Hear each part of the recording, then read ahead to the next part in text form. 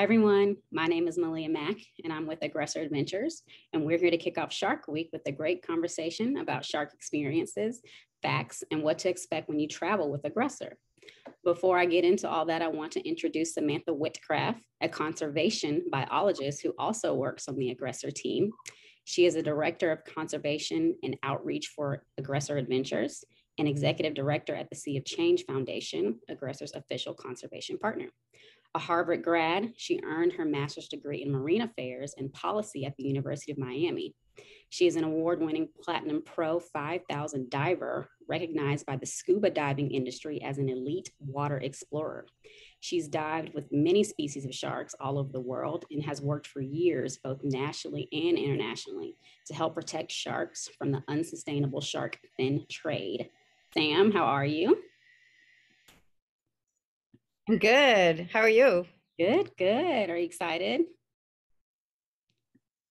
I, I am always excited uh, to talk about sharks. It's probably my single favorite thing in the world to talk about. And I love that it gives us an opportunity, especially during Shark Week, to move people from fear to respect. Because I think given a social media platform like that, that's the most important thing we can do is go from fear to respect.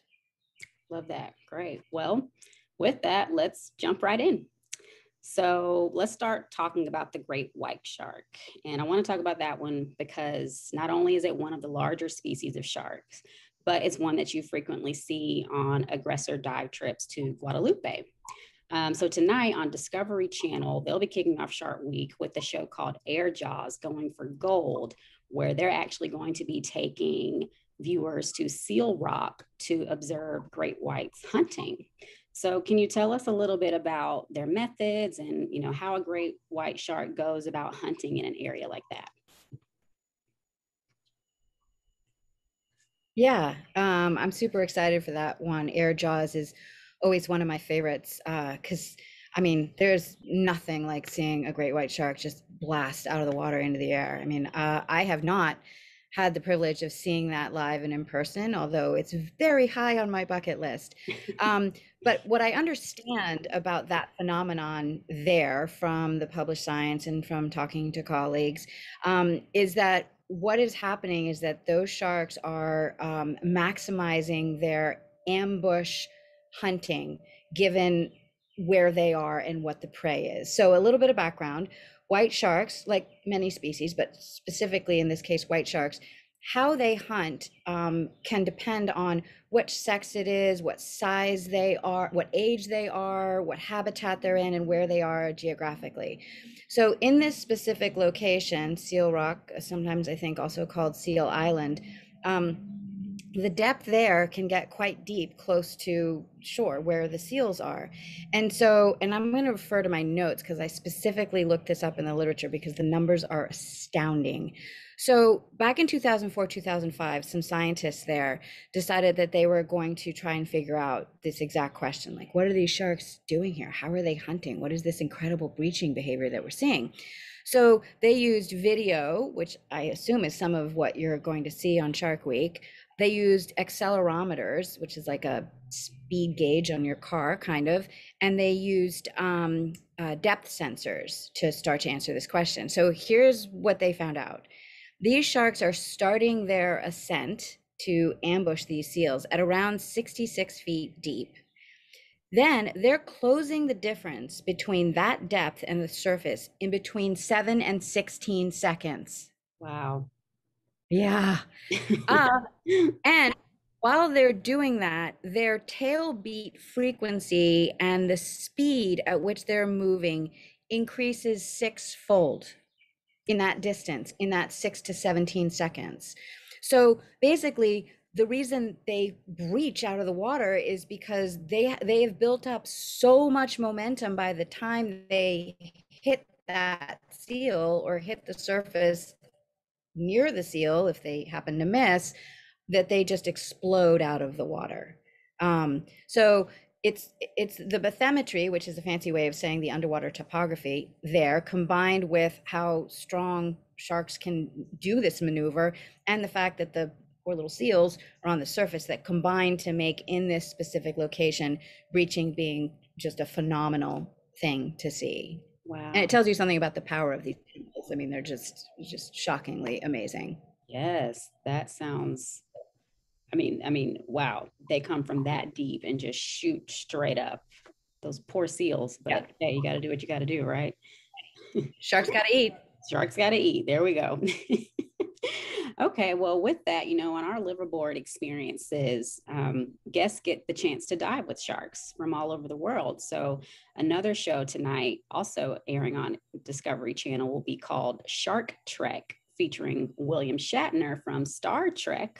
Get it? Star Trek, Shark Trek, and he will get to dive during Shark Week. So, sure, he's going to create a lot of fun memories and experiences. So, wanted to know what has been your favorite shark encounter, and if you could share that with us.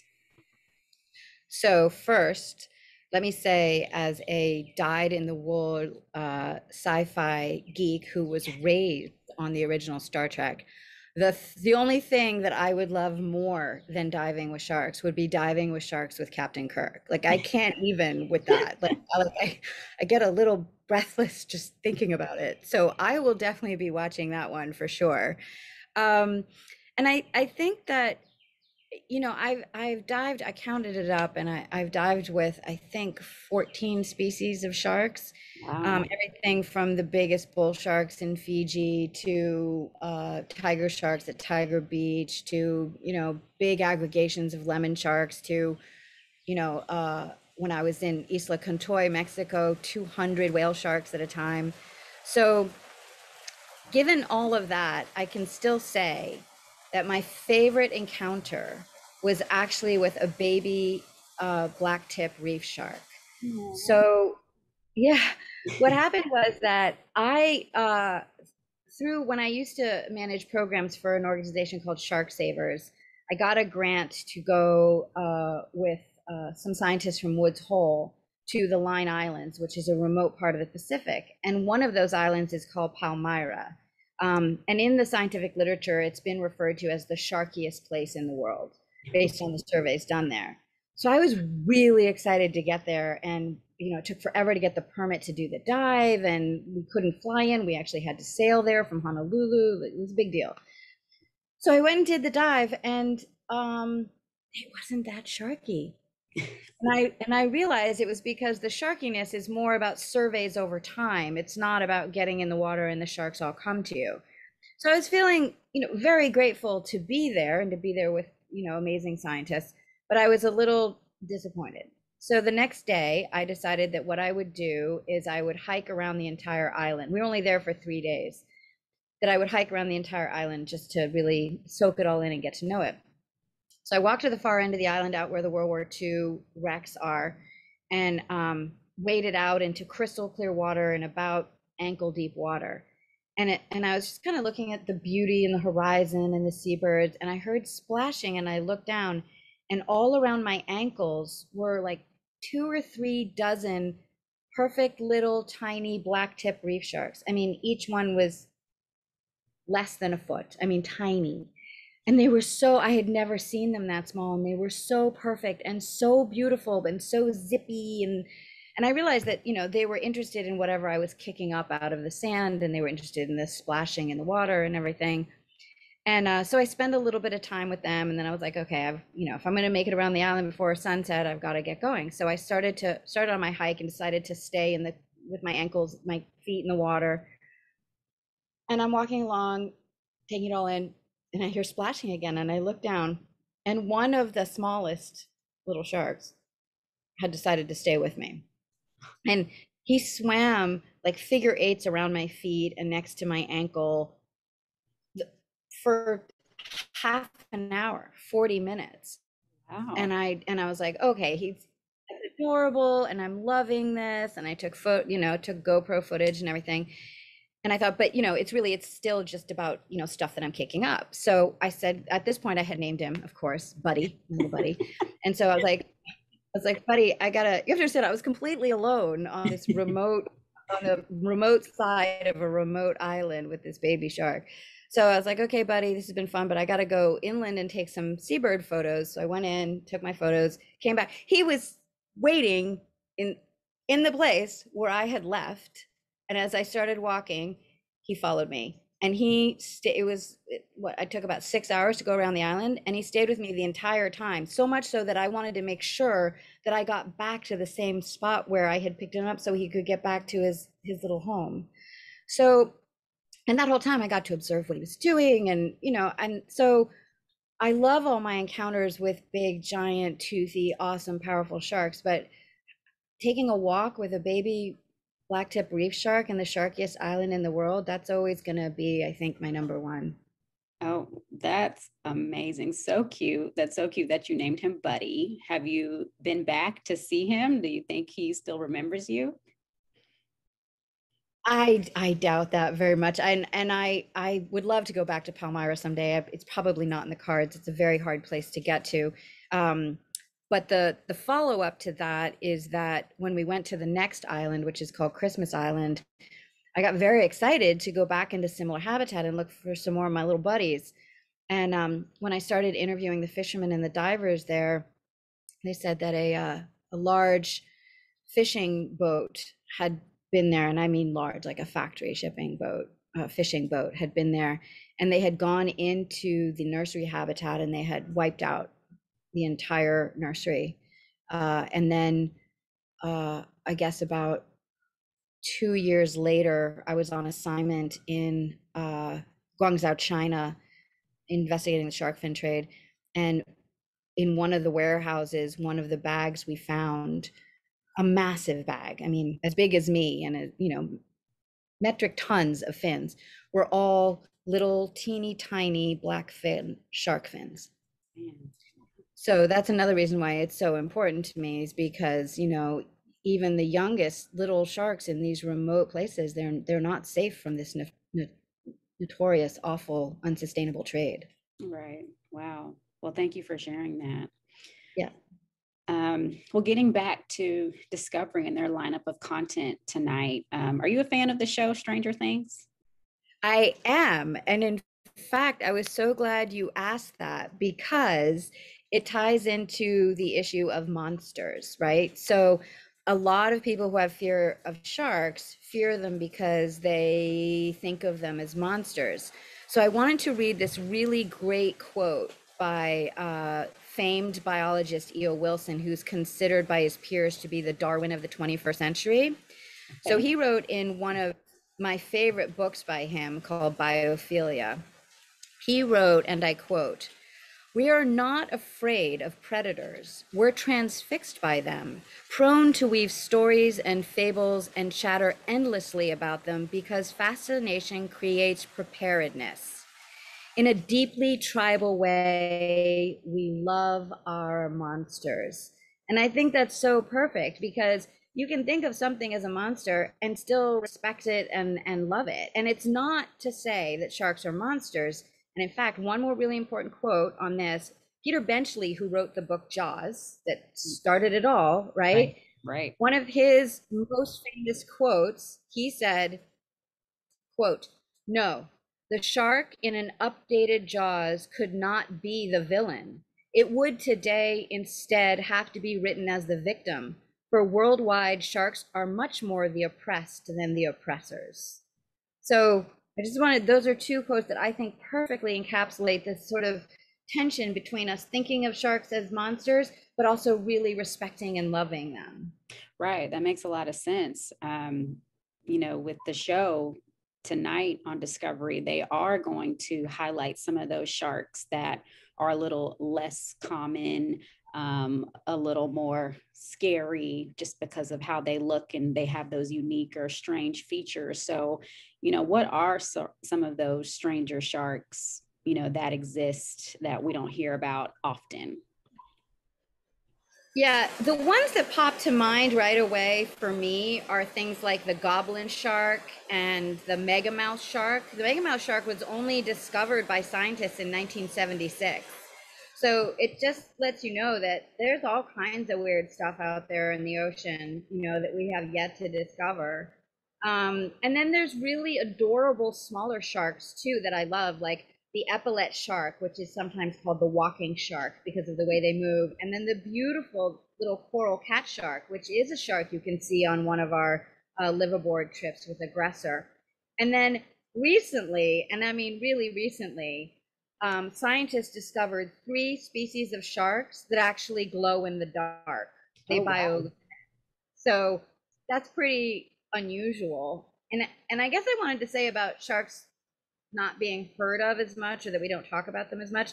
I think it depends on the circles you're in. So for shark geeks like me and shark scientists and you know people who are kind of a little bit crazy about sharks we know, we know about these lesser known sharks but i think the reason the general public maybe doesn't is because unless they pop into the mainstream people aren't really going to hear about them so like unless a goblin shark shows up on like the Florida Keys reef tract, which isn't going to happen, you're not really going to hear about it. Whereas occasionally a white shark will show up there and then and you'll hear about it. So I think and also these lesser known sharks tend to be in deeper water or murkier water or more remote places. So the general public just isn't in a in a space to interact with them. And that's why, you know, these shows that they've been doing for a few years now on Discovery, where they do look at and talk about these more unique, lesser known, lesser appreciated sharks, I, I think are some of my favorite shows because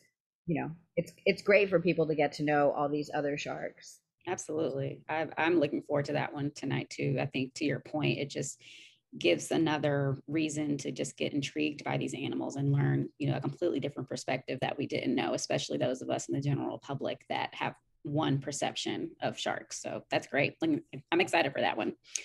Um, so let's talk about before we close. Let's talk about aggressor um, and you know those encounters on the trips. So since you are the shark expert, uh, what are some of the things you tell divers on aggressor dive trips when they do encounter a shark? What are some of the things they should be doing, yeah. not doing?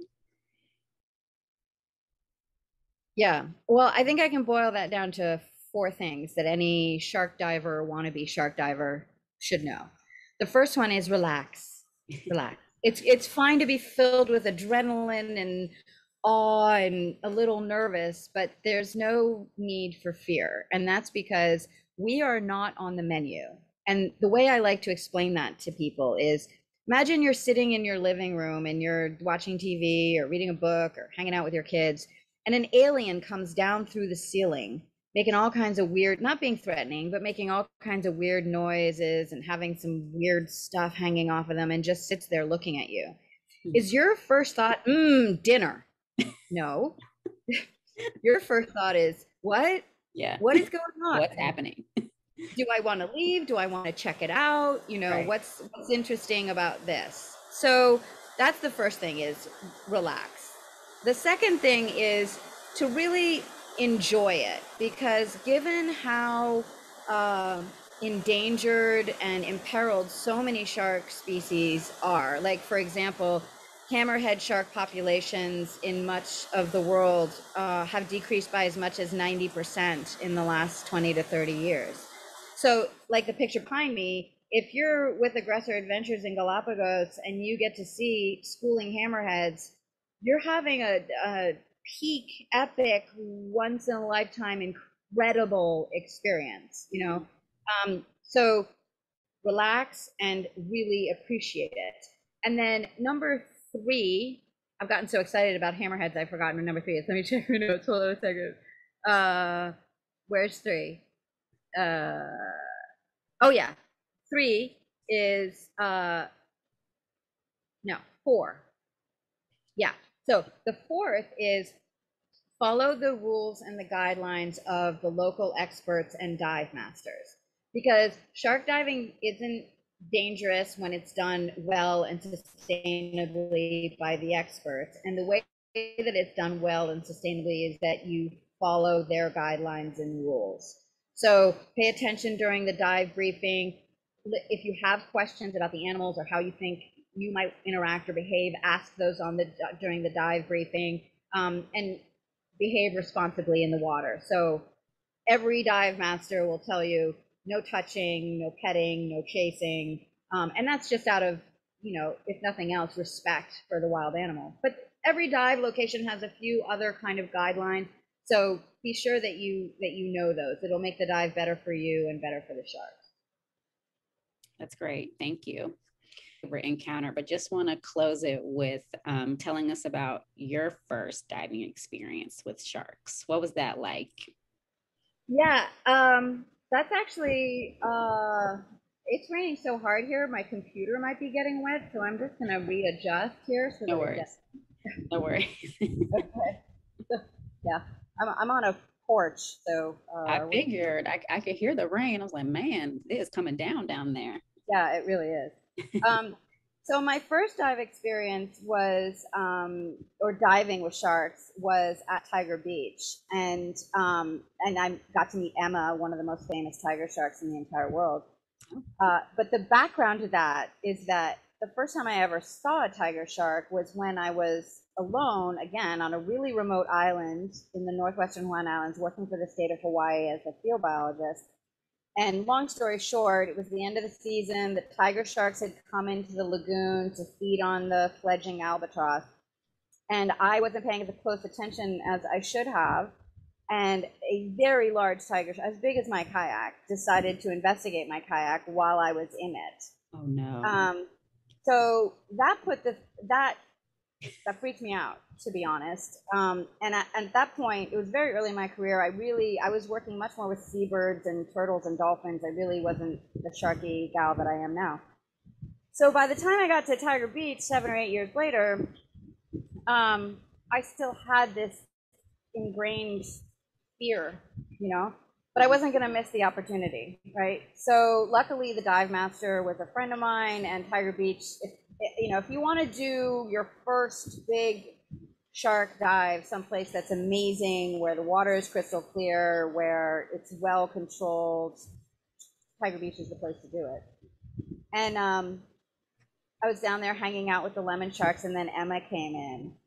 And she's so beautiful and so graceful. And she was doing these big ellipses and coming up to each individual diver. And she did her pass by me. And she looked me right in the eye. I mean, we made eye contact for, I mean, it had to be a full five seconds, just eye to eye. And, um, you know, when you make eye contact with an animal and you have that moment and you know there's someone there and they know there's someone there and you both know that you know that each other are there. Yeah. I had that with her. Yeah. And and her and, and tiger shark eyes are beautiful. They're not like that line in Jaws where he says, dead like a doll's eyes. No, they're beautiful. And so we made eye contact, and it was in that moment that I went from fear to respect. And that's why I'm such an advocate of respectfully and uh, carefully but joyfully putting people in the water with sharks. Because as soon as you've had that moment, you go from fear to respect. It's just it, you know, the sharks do all the work for you. It's it's one of the best conservation tools there is. Is putting people in the water with sharks. Yeah, that's beautiful. Thank you for sharing that. And hopefully, our conversation today will inspire more people to just do a little bit more research and put themselves out there and, and definitely want to travel with Aggressor. Well, Sam, thank you so much for taking the time to talk with us during Shark Week and for all your contributions to the conservation of marine life, for sure. Thank you so much. Oh, thank you. And um, happy Shark Week to you and to everybody. Happy Shark Week.